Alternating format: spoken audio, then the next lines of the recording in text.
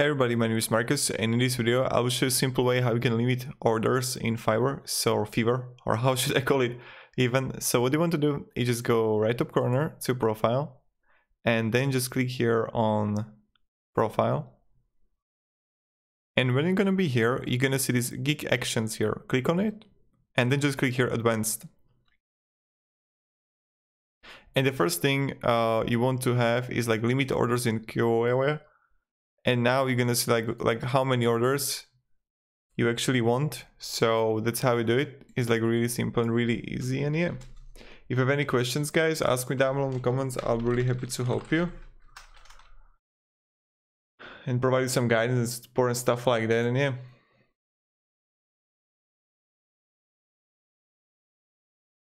Goodbye